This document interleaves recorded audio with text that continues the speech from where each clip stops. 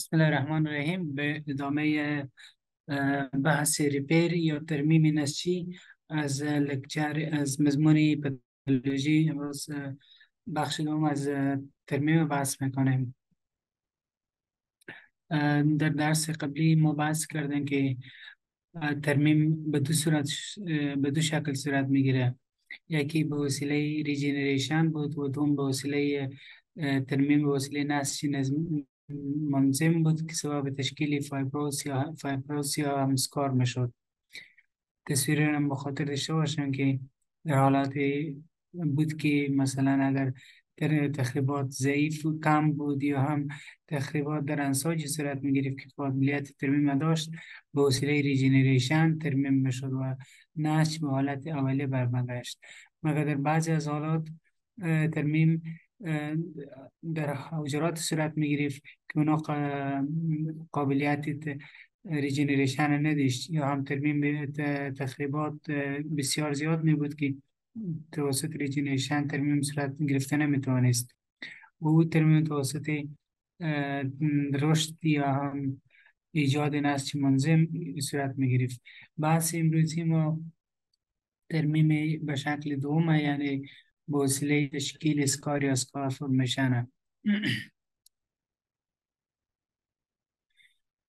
ترمیم به وسیله اسکار در تحت من امروز ما شما سه موضوع مهم و اساسی بحث می‌کنم یکی که مراحل اسکار فرمیشن چی هستن کدام مراحل رو طی می‌کنن تا اینکه یک نسج scar یا fibrotic تشکیل میشه دوم بعد از اینکه نسج scar ایجاد میشه چه تغییراتی د ازو نسج ایجاد میشه remodeling تشکیل مجدد تغییر ساختمانیه.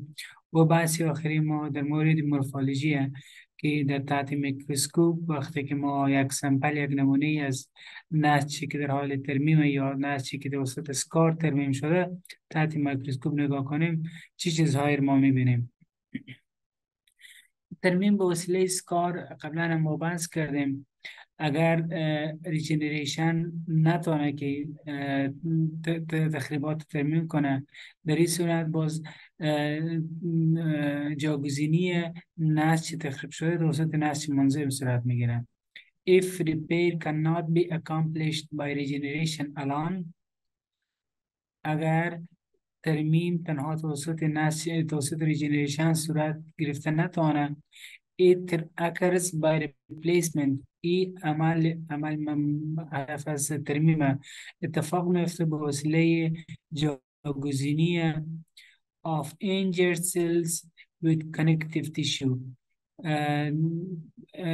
توسط جاگزینی حجرات تخریب شده به وسیله نسج منظم.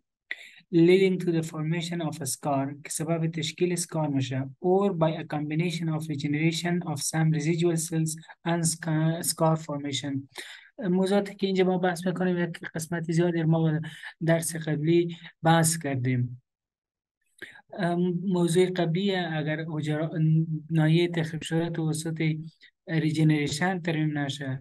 ناحیه تخریب شده بعدا توسط scar ترمیم میشه. یا هم اکثریت اوقات د combination از regeneration و scar formation در ترمیم نسجی role داره. یعنی قسم نیه که تنها ناحیه تخریب شده فقط توسط regeneration ترمیم میشه یا تو فقط توسط scarring بلکه هر دو پروسه اهمیت داره هر دو پروسه role خود خود داره با تفاوت درجات در بعضی حالات regeneration به غالب در بعضی از حالات باز ترمیم وسیله ایجاد نسج scar غالبه.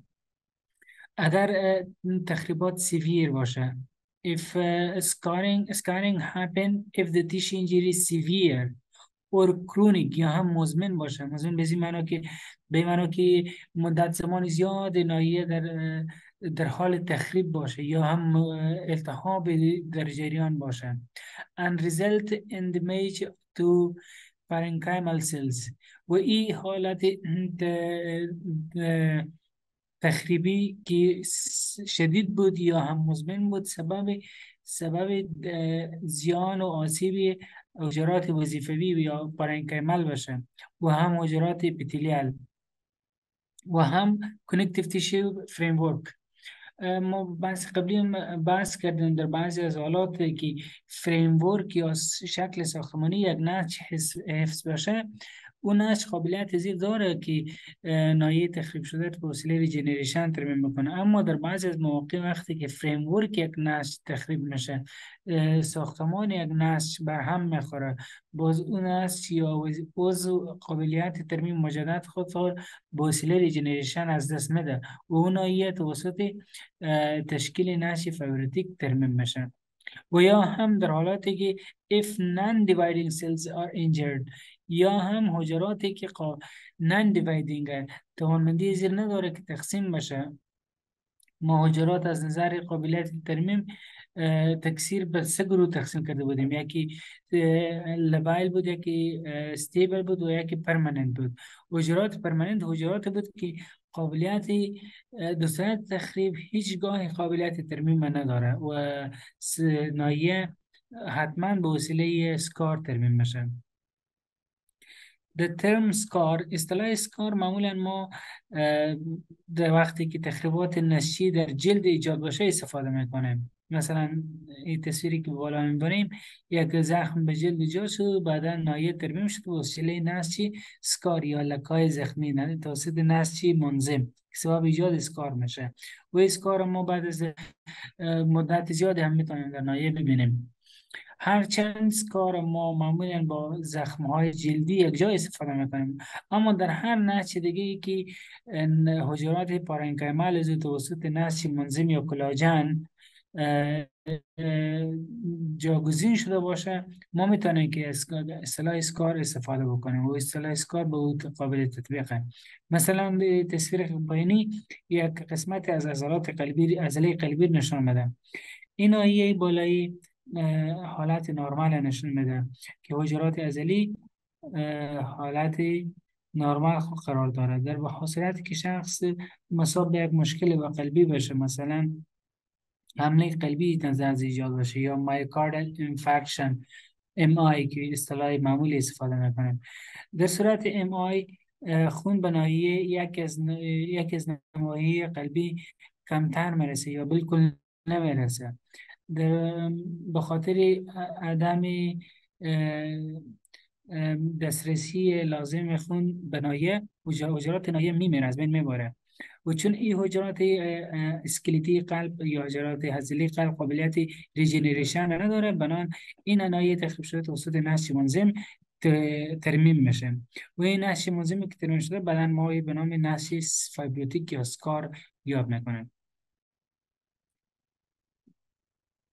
steps in scar formation مراحلی که سبب تشکیل نسج سه مرحله مهمیه که در نهایت منتج به تشکیل scar میشن مراحل ابتدایی هرچند به خاطر تشکیل scar حتمیه ولی مراحل ما قبل زیه مرحله اساسی تشکیل scar مرحله نهاییه. در ابتدا مرحله به نام hemostatic plug formation and inflammation تشکیل plug hemostatic کتله کتله خونبند. و التهاب. بیشتر باز به سلاید بعدی هر یک از این مراحل بیشتر بحث می‌کنیم. مرحله ابتدایی وقتی که یک نایه تخریب میشه مثلا هیر سطح جلد مد نظر بگیریم.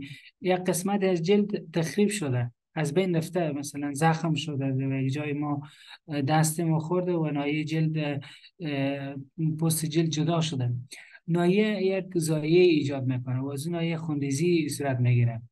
در ابتدا نایه توسط ایجاد کتله خونبند خوندیزی بند میشه متوقف میشه و به تعقیب از او التهاب صورت می‌گیره. به مرحله بعد حجرات به نایه میایه حجرات غیر التهابی. در اینجا ما التهابی که بحث کردیم حجرات بیشتر حجرات التهابی یعنی حجرات خونه از جمله حجرات نیتروفیل و monocyte و باقی حجرات در این مرحله دوم که شامل cell proliferation and granulation tissue formation میشه در اینجا حجرات دیگه به ناحیه میایه تکثیر می‌کنه و سبب یک نسج میشه؟ نسج خاصی به نام granulation tissue یا نسج granulation بیشتر بحث می‌کنیم مسئله بعدی. و مرحله بعدی باز مرحله remodeling و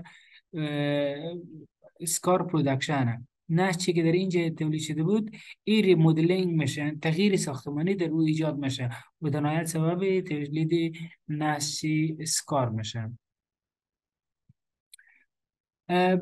مرحله ابتدایی بحث می‌کنه وقتی که در زخم جلدی مثلا مورد مساق قرار میدیم یا قسمت از جلد وقتی که مساق مشکل میشه زخم ایجاد میشه مرحله ابتدایی در به خاطر ایجاد ترمیم به خاطر تولید سکار تولید هیموستاتیک پلاک هیموستاتیک پلاک چی هست؟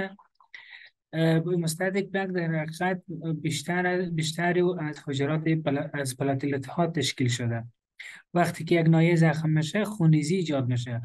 خون ریزی که ایجاد میشه ضرورت بزی پیدا میشه که باید خون ریزی متوقف بشه. به خاطر ریزی که خون اگر همه قسم ضایع شده بره بدن باز با مشکلات زیادتر مواجه میشه. اما بدن عکس در مقابل این خون ریزی عکس العمل نشون میده و ناحیه که خون ریزی صورت می‌گیره او بند می‌کنه بندش خون ریزی معمولا توسط platelet ها صورت می‌گیره. این platelet ها در ناحیه جمع میشه و ایجاد سبب ایجاد یک کتله میشه پلاک۔ هیموستاتیک پلاک میشه یا کتله خونبند۔ و نایه سبب چی این کتله سبب چی میشه سبب ستاپ بلیدینگ میشه خونریزی متوقف می‌کنه این عمل در مدت چند دقیقه صورت می‌گیره شما حتما تجربه دارم از زخم شدن سطح جلد خود بعد وقتی که یک نایه زخم میشه خونریزی از نایه صورت می‌گیره. بعد از یک مدت می‌بینیم که نایه در نایه خون جمع شده خونی مواد سرخ رنگی همین مواد سرخ رنگی اولی که در نایه خوندی ایجاد میشه و سبب بندش خون میشه در حقیقت او هیموستاتیک پلاگه یا کتله خونبنده. بعد از اینکه جریان خونریزی متوقف شد عمل التهاب صورت میشه شروع میشه. انفلامیشن عکس عمل التهابی شروع میشه. ما در مورد التهاب بحث کردیم به جزیات که شامل التهاب اکیوت و مزمن می‌شد. التهاب چه قسمی صورت می‌گرفت؟ وقتی که اینجی نایه تخریب شده حجرات تخریب می‌شد یا یک میکروب به نایه می آمد مواد تولید می‌کرد. این مواد تولید شده به عنوان کیموتاکتیک اجنت عمل می‌کرد یا مواد سبب جذب حجرات خونی می‌شد. از از داخل خون از داخل این قسمت تیپای سرخنگ که می‌بینیم اینا رگای خونیه. این مواد که در ناحیه تخریبی در ناحیه جایی که مشکل ایجاد شده.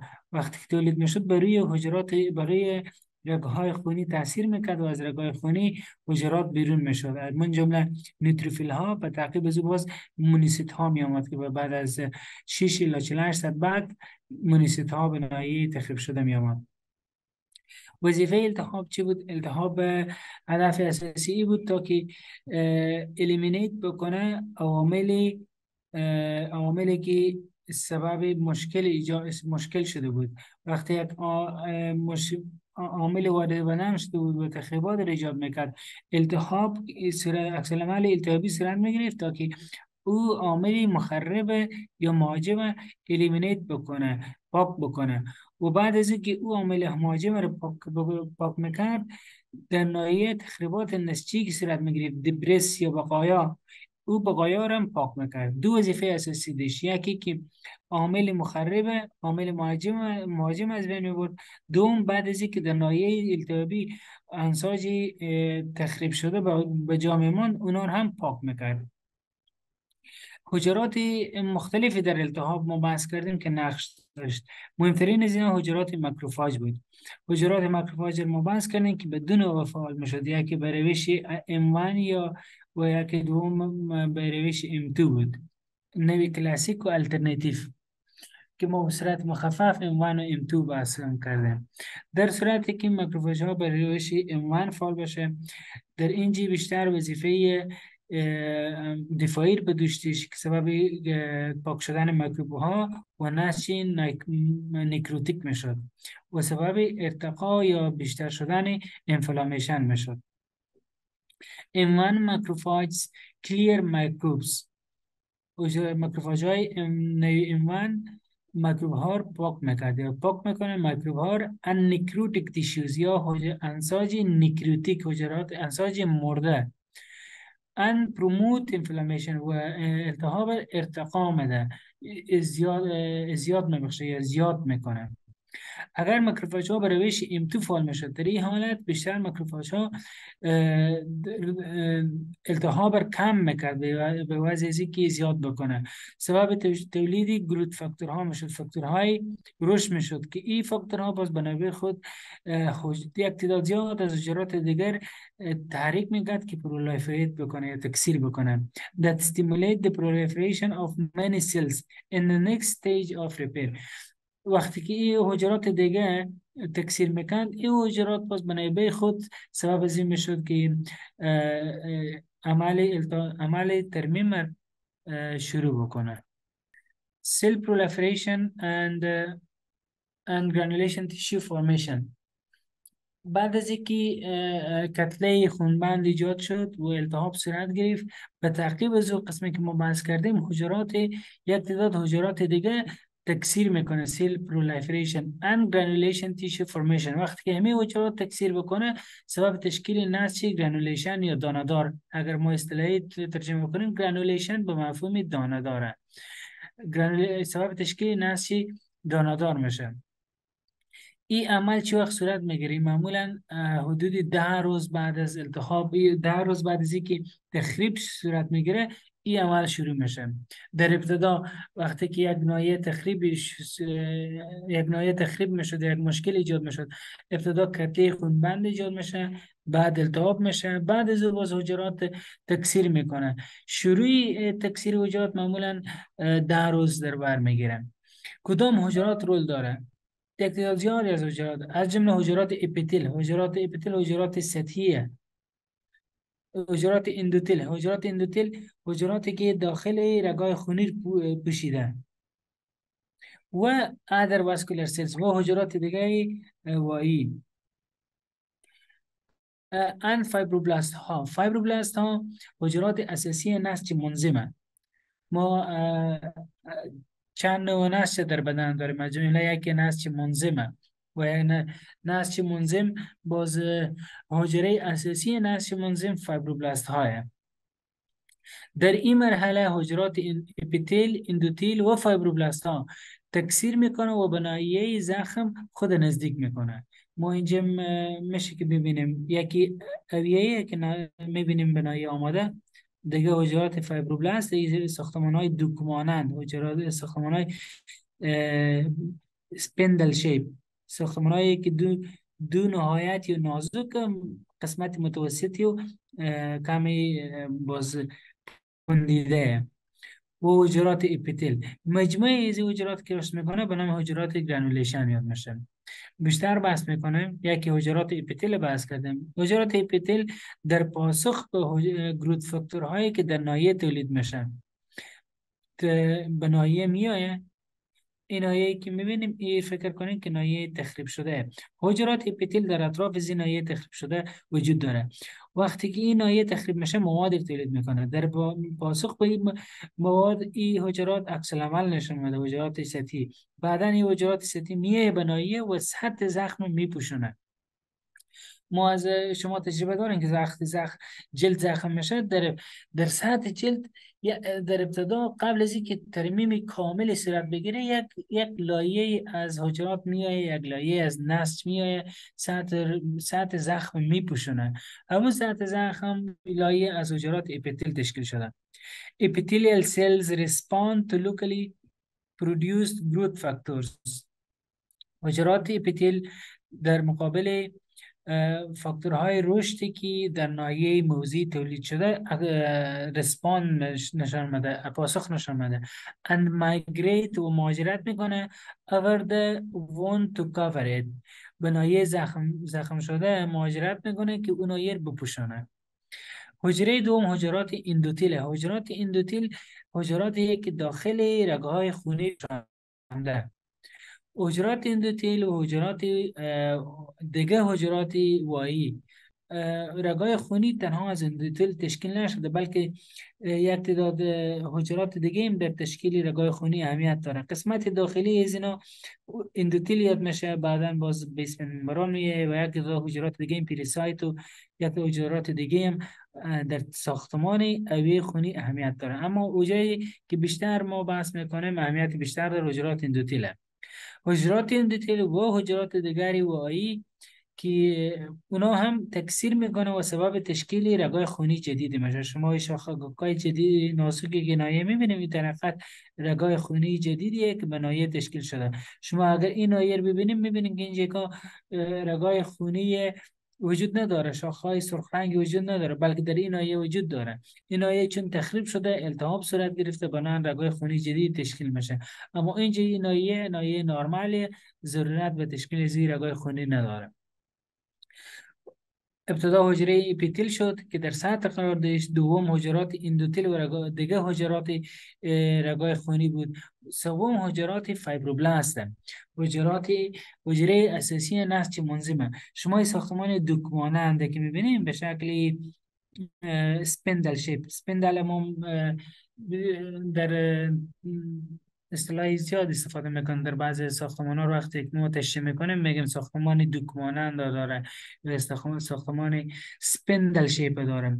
سپندل به این مفهوم که دو نهایت ساختمان نازکه. مثل که اینجا شما می‌بینیم ساختمان های سوزنک مانندی اما قسمت متوسط بندیده. حجرات فایبروبلاست هم تکثیر پیدا می‌کنه یه پرولیفریشن می‌کنه تعداد ناجاب میشه و مایگریت مهاجرت می‌کنه بناییه وقتی که بناییه اما خود از اینا تعداد خورم زیاد می‌کنه و هم مواد خارج حجروی تولید می‌کنه. مواد که در خارج حجره قرار داره. مهمترین ماده خارج حجروی که در ترمیم اهمیت داره کلاژن وقتی کلاژن به حد زیاد تشکیل شد در حقیقت نسج fibrotic می‌سازن. نسج fibrotic در حقیقت مجموعه از الیاف یا رشته های کلاژن حجرات fibroblast به نایه میایه مواد خارجی حجروی تشکیل میده. مواد خارجی حجروی ساختمان های مختلفی در تشکیل ازو اهمیت دارن. اما ساختمانی که یا ماده که بیشترین اهمیت داره و بیشترین قسمت از نسج scar یا fibrotic تشکیل داده در حقیقت الیاف کلاژن مجموعه the combination یعنی مجموعه proliferating fibroblast fibroblast هایی که در حال رشد loose connective tissue نسج منظم سست. به چی مفهوم؟ به این مفهوم که نسج مسوس به خاطر یاد می‌کنن که در ابتدا وقتی که در نایه از حجرات میایه و رشد می‌کنه اونجا حجره نسج سستی تشکیل میشه نسجی که مقاومت نداره.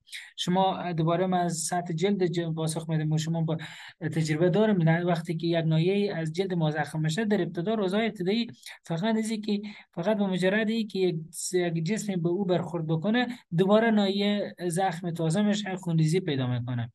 چرا؟ به خاطر از که اون هنوز سست هنوز درست مقاومت پیدا نکرده مجموعه از fibroblast های در حال رشد نسج منظم سست new blood vessels اوعیه های خونی جدید و هم مجموعه از حجرات التهاب مزمن مجموعا اینا یک نسج می‌سازن که به نام نسج granulation یاد می‌کنه و این نسج granulation در ترمیم اهمیت زیاده داره. مجموعا همین ساختمان جدیدی که ایجاد شد به نام granulation یاد می‌کنه. نسج granulation.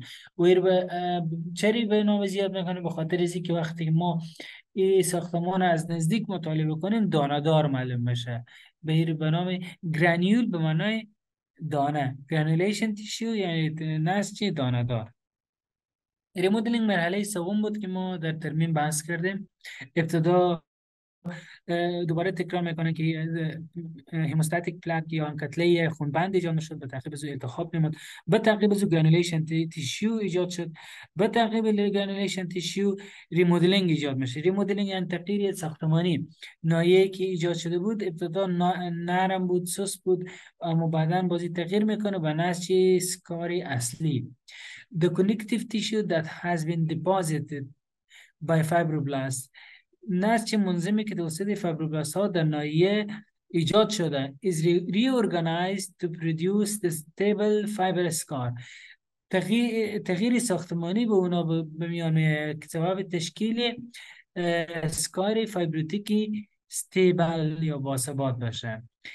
This process began two to three weeks after injury. این عمل مرحله سوم دو تا سه هفته بعد از عمل تخریبی شروع میشه. And may continue for months or years.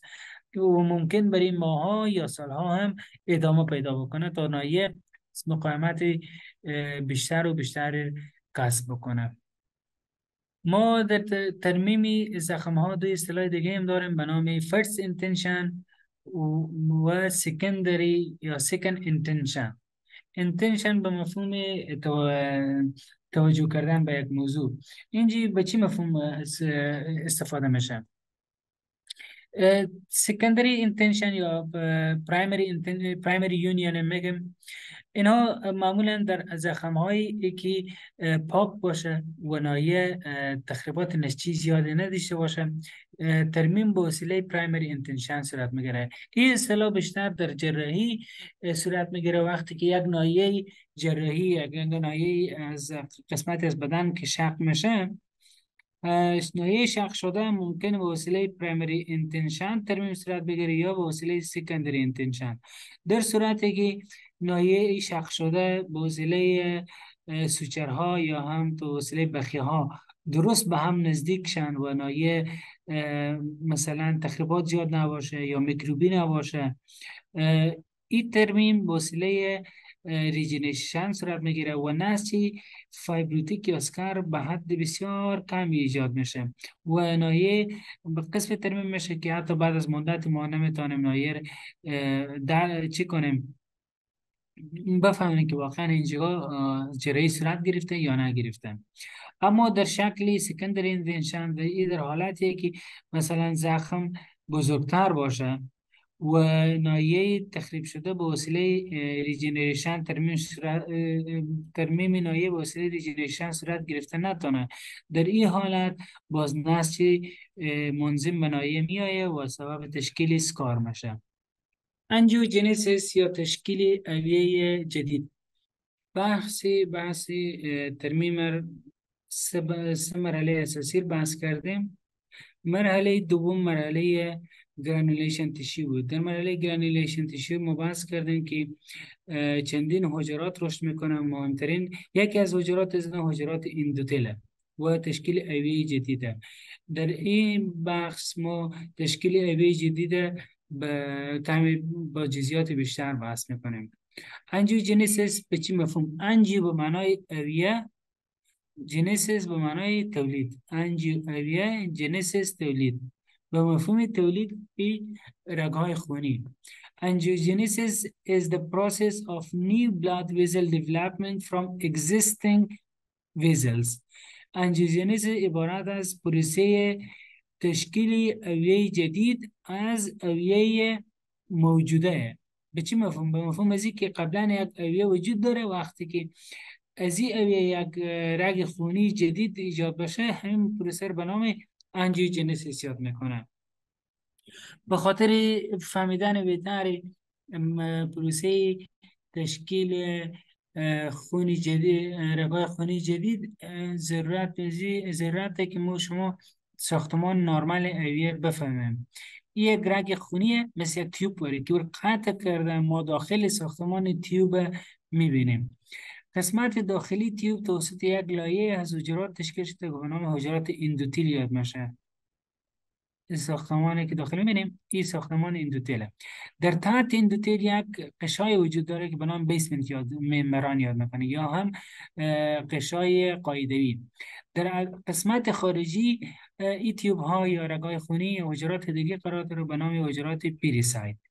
این سه حجره اساسی یک حجرات دیگه وجود دارن اما این سه حجره اساسی که ما شما باید به خاطر داشته باشیم خب حالا وقتی که یک نایه تخریب میشه و بعدا پروسه ترمیم صورت می‌گیره یک تعداد عکس های یا پروسه پی هم صورت می‌گیره تا سبب تشکیل اوی جدید بشه اولین. اولین عکس العمل که صورت می‌گیره اویه به طور مثال فرض کنیم اینجا یک تخریب صورت گرفته این تخریب که صورت گرفته ضرورت بزی پیدا می‌کنه که یک اون نایه وقتی که تخریب شده رگهای رگهای خونی اون نایه هم حتما تخریب شده. در پاله ازی که حجرات دیگه به نایه ضرورت و باید بره اون نایه ضرورت به داره که رگای خونی هم باید اونجا تشکیل بشه. به خاطر رگای خونی اولین عکس العمل ایه که رگای خونی متوسع میشه. شما یه رگ خونی با ایر که مقایسه بکنیم قطر ریزی بیشتره. و این زیاد شدن قطر توسط nitric oxide صورت می‌گیره was dilation in response to nitric oxide. An increased permeability induced by vascular endothelial growth factor. و قابلیت نفوذیه اینایی هم زیاد میشه حجرات کمی از هم دیگه دور میشه و موادی که در داخل اویه وجود داره اینا هم از نایه بیرون میشه قابلیت نفوذیه زیاد میشه به تعقیب توسط این بیس طبقه بیسمنت ممبران قسمت قصه یک لایه گلابی نازکی که در نایه می‌بینیم ای از بین میره. شما اینجا ساختمان دانه دانگه که خود نقطه نقطه که می‌بینیم نشان دهنده ایه که همه بیسمنت ممبران در این نایه از بین رفته. separation of pericyte یکی pericyte ها از از حجرات اندوتیل جدا میشه. و دوم ان بریک داون یعنی شکستن بیسمنت ممبرانه. ممبران قشای قدیمی میشکنه. and allow formation of a vessel sprout. و اجازه به میده که یک جوانه از ویزل ایجاد بشه. شما اینجا ساختمانی که می‌بینید یک جوانگان که زده. و این جوانگان در حالت صورت می‌گیره که بیا که بیس ممبران از بین بره و حجرات پریسایت هم از ناحیه جدا بشن به تعقیب ازی به تعقیب این مرحله باز حجرات اندوتیل قسمت داخلی به تعقیب از حجرات زیاد میشه رشد می‌کنه. تعداد حجرات اندوتیل رنگ که بنایی می‌بینیم اینا هم شروع به مهاجرت می‌کنه و طرف نایه تخریب شده و تعداد خود زیاد می‌کنه. در ابتدا وقتی که این حجرات تشکیل میشه به شکل یک کتله تشکیل میشه به شکل یک ساختمان جامدی. اما بعدا باز اینا در اونا تغییرات ایجاد میشه ایجاد کانال در داخل حجرات اندوتل میشه. سوای این پروسه رو بنا خب ریمودلینگ انتو تیوبه تشی کانالایزیشن میشه که استفاده بکنن. به تعقیبی ای که بعد از اینکه این کانال ایجاد شد باز حجرات pericyte میایه حجرات طبقه نهایی آخری خارجیه که اطراف اوعیه رگای خونی ایجاد میشه. یک موضوع دیگه که اینجا قابل ضرورت به تذکر داره یکی یک نظریه وجود داره که حجرات ما قبل اندوتیل یا progenitor cells of endothelial cells در bone marrow میگه قرار داره یعنی در مغز استخوان. مثل ایزی که دیگه حجرات خونی ما قبل از یا حجرات اصلی مغز استخوان وجود داره از این جگاه رشد می‌کنه و میه داخل خون. همین idea در مورد حجرات اندوتیل هم وجود داره. میگن که حجرات اندوتیل ما قبل از اینا یا حجرات اساسی در مغز استخوان وجود داره. بعد از اینکه ضرورت به اونا پیدا میشه به نایه میایه و نایه تخریب شده ترمیم می‌کنه. اما اهمیت این پروسه که از مغز استخوان به به نایه ای اهمیت ازی بسیار کمه. بیشتر به این طریق که ما تشریح کردیم نایه تخریب شده ترمیم میشه و رگای خونی جدید ده نایه ایجاد میشه. activation of fibroblast یکی از یکی از مراحل دیگه که ترمیم ما بحث کردیم آمدن حجرات fibroblast فعال شدن از و بعد از تولید نسج منظم بود. نسج منظم یا connective tissue تولید زو به دو مرحله صورت می‌گیره. یکی که باید حجرات fibroblast بنایه بیایه migration بکنه مهاجرت بکنه and proliferation بعد از اینکه بنایه مهاجرت بکنه باید تعداد خود بکنه و تکثیر بکنه. به کجا؟ به site of injury نایه تخریب شده بعد از اینکه فعال شدن و تعداد خود زیاد کردن. deposition of extracellular matrix تولید می‌کنه. بعد از اینکه extracellular matrix چی هست؟ مواد خارج حجروی. یک نایه تخریب شده تنها از حجرات تشکیل نشده بلکه یک قسمت اینا موادی که خارج از حجره قرار داره که شامل پروتئین ها و مواد دیگه. این مواد مجموعا به نام اکسترا سلولر ماتریکس یاد می‌کنن. این مواد قسمت بزرگ از اینا توسط نسج حجرات فایبروبلاست تشکیل میشه. آمادن حجرات فایبروبلاست بنایی بعد از تکثیر اونا و بعد از تولید این مواد توسط یک تعداد از مواد تحریک میشه. These process یعنی این مراحل are stimulated تحریک میشه by locally produced cytokines. تو به وسیله cytokine های تولید شده موضوعی. موضوعی به معنی به همون آیه. And growth factors. و فاکتورهای رشد از جمله سه تا مهم اینجا تذکر دادن. یکی PDGF platelet derived growth factor یا growth factor هایی که از platelet ها مشتق شده به مفهوم که این یک فاکتوری رشدیه که بیشتر به وسیله platelet ها تولید میشه fibroblast growth factor and transforming growth factor beta در بین اینا همه همه یک بیشترین اهمیت داره. وقتی که ما در ترمیم بحث می‌کنیم مهمترین cytokine یا هم مهمترین growth factor در ترمیم transforming growth factor beta هه منبع از اینا حجرات التهابیه که در نایه وجود داره بالخصوص مکروفاج های مکروفاج ها وقتی فعال می‌شد در پلی دیگه کار آخر موادی تولید می‌کرد. از جمله اینها این مواد باز میره بر روی فایبروبلاست ها و حجرات دیگه تاثیر می‌کنه که به نایه بیه و نایه سبب بالاخره ترمیم نایه آسیب دیده باشه. در پاسخ به سایتوکین ها در in response to, to the cytokines cytokines and growth factors fibroblasts enter the wound. فایبروبلاست ها داخل زخم میشه. From the edges از کناره ها از کنارهای زخم یعنی وارد نایه میشه. And migrate toward the center و طرف نایه مرکزی مهاجرت می‌کنه.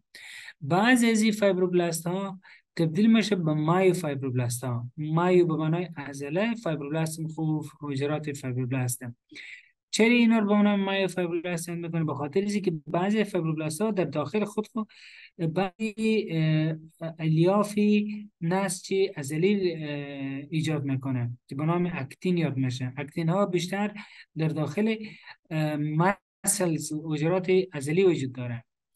به خاطر وجود همی actin ها بعضی fibroblast ها به نام myofibroblast ها یاد می‌کنه این ساختمان های ساختمان fiber ها جمله actin ها فعالیت های تق... تقبضی یا. contraction به دوش داره. Increase contractile activity. سبب از میشه که نایه تقبض پیدا بکنه contraction بکنه. وقتی که تقبض پیدا بکنه سبب از میشه کناره های زخم به طرف, به هم بکشونه. Pulling its margin. کنارهای زخم به هم نزدیک می‌کنه. شما وقتی که حتما دیدیم یک زنایه وقتی که زخم میشه و بعد از او یک لکه زخمی ایجاد میشه و لکه زخمی به مرور زمان کوچک میشه کوچک و کوچک شده میشه. این کوچک شده کوچک شدن یک قسمت به دوشی مای های که سبب تقبض میشه تقلص می‌کنه و نایه خورد تخریب شده نایه فابریتیک خوردتر شده میشه. به ادامه موضوع فعال شدن فایبروبلاست ها و بعد دیپوزیشن آف کنکتیو تیشو وقتی که هیلینگ پروسه هیلینگ پیشرفت می‌کنه یا پروسه ترمیم پیشرفت می‌کنه تعداد فایبروبلاست هایی که در حال رشد کم میشه در ابتدا فایبروبلاست ها وقتی که به نایه میه شما اینجا نگاه کنید به تصویر دومی وسط ساختمان های دوک مانندی که وجود داره اینا فایبروبلاست های در ابتدا اینا که میایین بیشتر تعداد خود رو زیاد می‌کنن. اما بعد از یک مدت تعداد اینا کم میشن و بیشتر باز وظیفه تولیدی رو به دوش می‌گیرن و سبب از این میشه که مواد خارج حجروی از جمله کلاژن ها تولید بکنه از جمله اکسترا سیلر ماتریکس تولید می‌کنه. شما این تصویر با این که مقایسه کنید می‌بینید که تعداد حجرات کمتره اما مواد خارج حجروی که اینجا به شکل ساختمان سفید رنگ نشون داده نسبت به زینا نسبت تصویر قبلی بیشتره.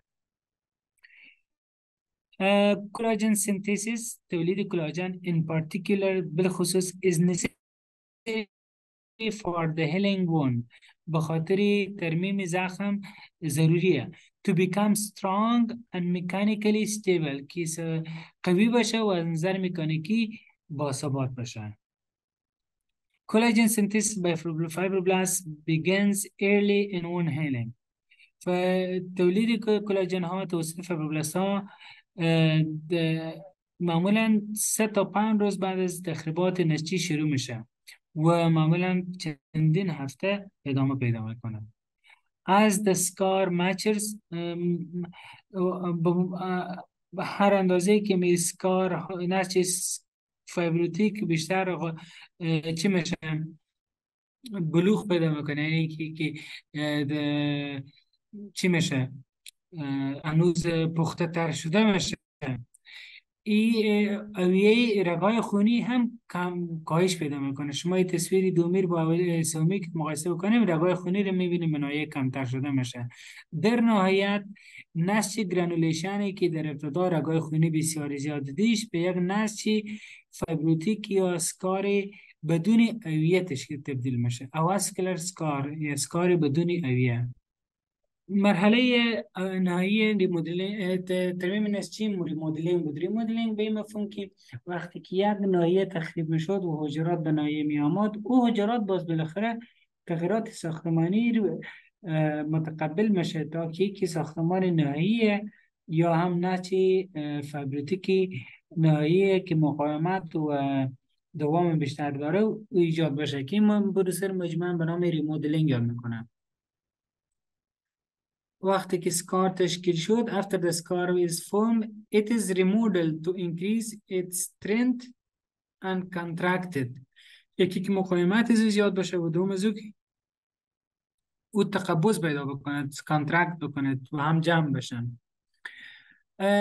wound strength یا مقاومت زخم بسیله دو چیز ایجاد میشن. یکی که به خاطر cross linking of collagen fiber های کلاژن رشته های کلاژن به شکل نخهایی که در ناحیه تخریب شده ایجاد میشه. اگر اصطلاحی بگیم fiber هایی که در ناحیه تولید میشه. این fiber ها بعدا با هم دیگر ارتباطات بیشتر ایجاد می‌کنه و با هم بیشتر اتصال پیدا می‌کنه. این پروسه به نام cross linking می‌کنه یعنی دو طرفه با هم متصل میشه.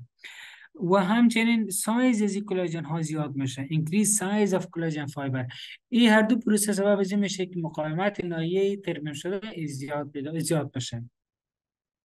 در بله از اینا there is a shift of type of collagen deposit. نوی کلاژن که در نایه تولید شده او هم تغییر پیدا می‌کنه. در نسج گرانولیشن کلاژن که تولید میشه نویسه اما بعد از مدت این کلاژن به نوی یک تبدیل میشه. نوی مقاومت بیشتری داره. In well sutured skin wounds در زخم های جلدی که خوب سوچار شده باشه خوب به خیز زده شده باشه strength may recover to 70 to 80% of normal skin by 3 months. مقاومت مقاومت به نسبت جلدی نرمال در حدود 70 تا 80 فیصد سه ماه بعد برمیگرده به چی مفهوم؟ به این مفهوم وقتی که ما مثلا یک جای شخص جری به بطن انجام بده که بطن شق میشه نایه بعد چند روزی ترمیم میشه اما مقاومت نرمال نداره حدود سه ماه حداقل وقت ضرورت تا که او مقاومت به 70 تا 80 فیصد نسج نرمال بر بگرده اگرچه 70 80 فیصد بر میگرده اما 100 فیصد بر نمیگرده به مفهوم که مقاومت یک نایه تخریب شده وقتی که ترمیم میشه با حالت نرمال 100 فیصد معمولا بر نمیگرده اما با درجات متفاوت نظر به که کدام نقش تخریب شده و به چی درجه تخریب شده به فیصدی متفاوتی به حالت نرمال برمیگرده با گذشت زمان و time the connective tissue is degraded and the scar shrinks. نسج منظم تخریب میشه و سکار کنس شرینک می‌کنه. شرینک به مفهوم که جمع میشه. The degradation of collagen and other extracellular matrix components, components accomplished by a family of uh, matrix metalloproteinase این تخریب نسج منظم و بعد از اینکه باز نسکار نسج سکار به هم جمع میشه توسط یک فامیلی از انزایم های به نام میتالپروتینز ها صورت می‌گیره این پروسه وقتی که نسج سکار ایجاد شد یک قسمت اوزوناس از بین میره پاک میشه. و ای از بین رفتن توسط انزیم یک از انزایم های صورت می‌گیره که به نام میتالپروتینز ها یاد میشه. مورفولوژی بحث نایی ماه وقتی که ما از نایی که دچار مشکل شده و بعد از ترمیم صورت می‌گیره ما یک sample بگیریم و تحت میکروسکوپ قرار بدیم. یک تا ساختمان های ما مشاهده می‌کنیم. دو از دو مرحله مهم اینجی slide نشون داده یکی مرحله granulation که مرحله دوم ترمیم و یک مرحله fibrosis یا scar ه مرحله نهاییه در مرحله گرانولیشن به خاطر دارن که حجرات زیادی رشد می‌کرد یا بنایه میامد و رگای خونی زیادی تشکیل می‌شد. ساختمان های که ما می‌بینیم اینجا رگای خونیه. و نسچی کنکتیو تیشو لوز اکستراسیلر ماتریکس مواد خارجی رجوی سستیه. بیان با هم دور دور دور قرار گرفته. ما اینجا که رنگامیز می‌کنیم نایه جاهایی که سفید شده به معنی که معمولا موادی که راحت با, با وقتی رنگامیزی پاک میشه. و این نشانده تیزیه که انساج قدر با انساج شله و انساج متراکم نیه. و نشانده ضعیفی نسچه در این تصویر رگای ساختمان های گلابی رنگی یا آبی رنگی که می‌بینیم این fiber های collagen ه که به رنگ آبی رنگامیزی میشه blue blue stain تصویر نهایی پایینی که هست ای از مرحله scar ه. وقتی که scar تشکیل شده از اون از اون مرحله نمونه گرفته. و این توسط روش trichrome staining.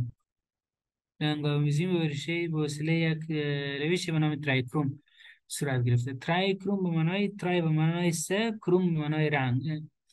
ارشاد trichrome میگه به خاطر ازی که معمولا وقتی که ما رنگامیزی می‌کنیم مواد موجود سه رنگ بخو می‌گیرن. حجرات red cells به رنگ نارنجی معلوم میشه. muscle cells به رنگ سرخ معلوم میشه و collagen ها به رنگ blue یا آبی معلوم میشه. اینجا که می‌بینیم سخ... رنگ غالب رنگ آبیه. رنگ آبی نشاننده کلاژن های قسمت بالایی ما الیاف کلاژن بسیار کم داشتیم یک تعداد محدودی از خطوط آبی رنگ داشتیم اما در قسمت پایینی الیاف کلاژن یا رشته های رشته های کلاژن به تعداد زیادی داریم. این رشته های کلاژن یا الیاف کلاژن یا collagen fiber توسط fibroblast ها تولید میشه. fibroblast ها اگرچه به این تصویر درست معلوم نمیشه اگر ما تحت میکروسکوپ های قوی تر نگاه بکنیم به شکل ساختمان های spindle معلوم میشه. در تصویرهای بالا ما نشان دادیم ساختمان های دوک‌مانندی بود. این ساختمان این دو slide که هست ما ساختمان ها رو تحت light microscope نگاه کردیم. میکروسکوپ های قوی تر از اون به نام electron microscope یاد میشه که ساختمان ها رو با جزئیات بیشتری ما می‌تونه مطالعه بکنه. فعلا سوالی داشته باشیم